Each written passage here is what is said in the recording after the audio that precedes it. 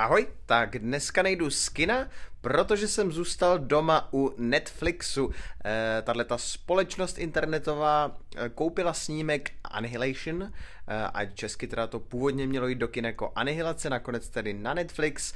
Natočil to Alex Garland, od kterého jste mohli vidět třeba parádní Ex Machinu před pár lety a samozřejmě to taky scenárista, který napsal například Dreda 3D nebo Sunshine nebo 28 8 dní poté, takové ty klasické hororové nebo science fiction filmy Dannyho eh, Boyla.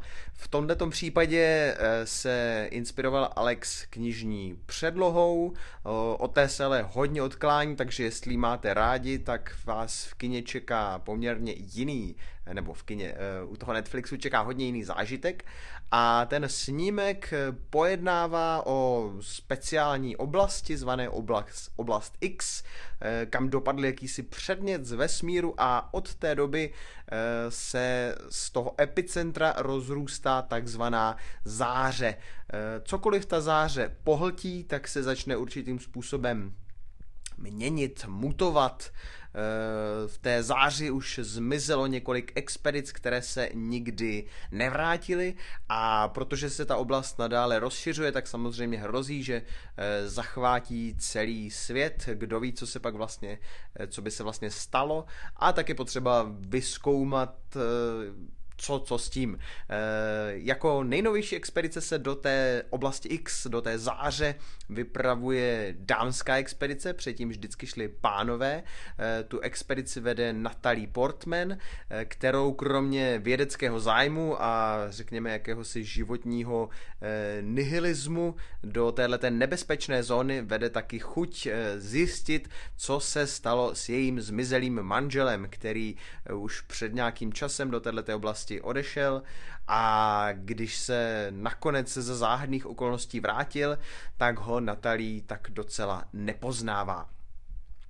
Eh, ten film je hodně atmosférický, opravdu eh, z každého záběru čiší atmosféra už jak z, ze způsobu práce s obrazem, s hudbou, eh, s tím, jakým způsobem ty herečky vlastně ty, ty postavy zn, hrají.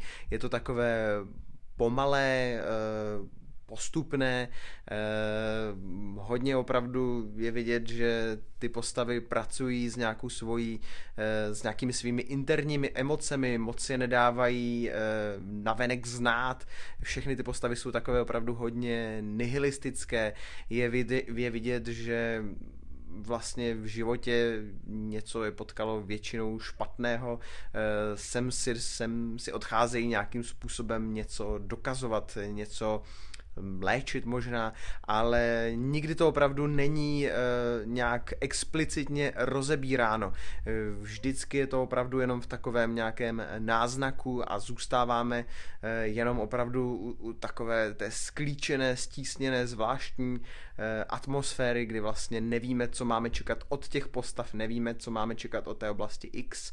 A myslím si, že pro spoustu diváků právě kvůli tomu přístupu bude ten snímek dost e, nepříjemný. Ten film nedává jasné odpovědi, eh, dost kašlej na takovou základní logiku, to mě občas docela mrzelo, ty výzkumníci se nechovají úplně jako výzkumníci, měla by v tom mít prsty armáda, tak jako armádní přístup tam nevidím už vůbec.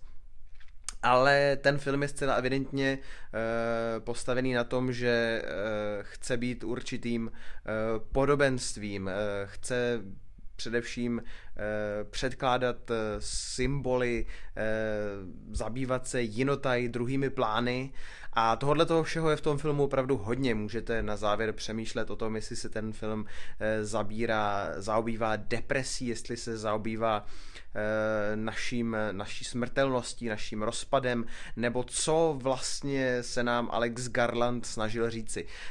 Mě to bavilo spolu s ním se na tuhle tu cestu vydat, užívat si tu atmosféru, Eh, přemýšlet o tom, co ty hodně zvláštní, ale přitom silné, surreálné, snové obrazy vlastně mají znamenat.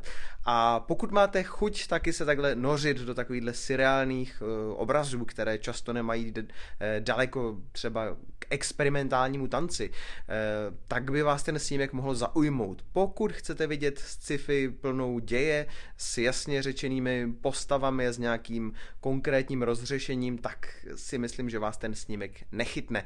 Ale rozhodně podle mě stojí za vidění, takže mu dejte šanci, zkuste to, uvidíte, jestli vás naštve nebo potěší. Za mě teda palec nahoru, anihilace. Eh, vy se zatím mějte krásně, sdílejte nás, lajkujte nás a zůstaňte na příjmu, protože brzy už se tady na kanále podíváme na zoubek nějakému dalšímu filmu. Takže ahoj.